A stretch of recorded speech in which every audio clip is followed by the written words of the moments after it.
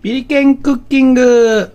今日は田舎から送ってきたほうれん草と冷蔵庫にある野菜を使って白あえを作っていこうと思います。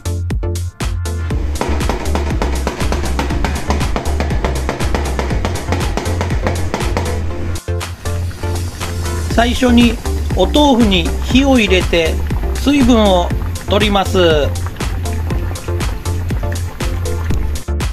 豆腐をボイルして湯がきましたんでここから水切りをします、えー、別にレンジがあるあの方はレンジでやっていただいても結構です。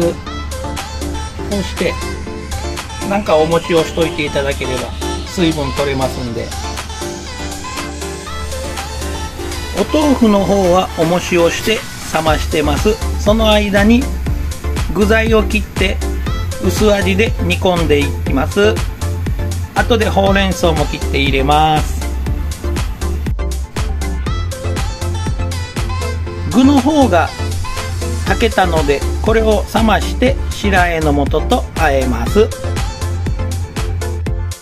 そうしましたら、えー、水切りをした豆腐冷めましたんで、えーと、半分残してフードプロセッサーにかけます。いりごま白味噌豆腐。そうしましたらこちらの方の、えー、種ができましたんで、えー、具材と混ぜ合わします先ほど半分置いてた豆腐もちょっとこんな感じで豆腐ありますみたいな感じの白あえになりますで、えっ、ー、と、気持ちを刺すんであれば、え、ここに酢をちょっと入れて、しらすあえっていうのにまたなりますんで、これで、え、これは白あえってなります。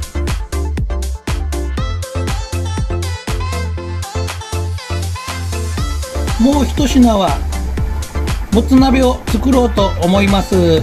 材料の野菜はキャベツ、太もやし、ニラになります。もつ鍋の野菜が切れましたこんな感じに切ってます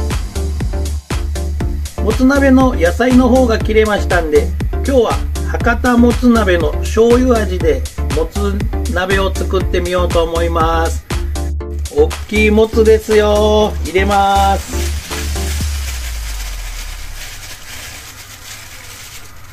あと豆腐を入れて完成します。